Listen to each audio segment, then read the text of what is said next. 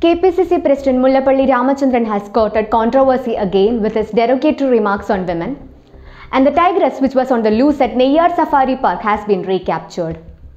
This is Needu with the New Indian Express news updates from Kerala. Addressing a protest meeting in front of the Secretariat in Thiruvananthapuram on Sunday, Mullappally Ramachandran said a woman with self-respect will die if she is raped. Every day, this woman would wake up saying she has been raped by someone, he said in an apparent reference to allegations made by solar scam accused Saritha S. Nair. Mullappally later expressed regret for his comments. The 10-year-old tigress which had escaped from its enclosure at Neyyar Safari Park on Saturday was tranquilized and trapped today. The team of forest officials and veterinarians managed to locate the tigress inside the 10-acre safari park. Renowned writer Paul Zacharia has been chosen for the 28th Ezhuthachan Award, the highest literary honour given by the Kerala government. Cultural Affairs Minister A.K. Balan said he was selected for his overall contributions to Malayalam literature.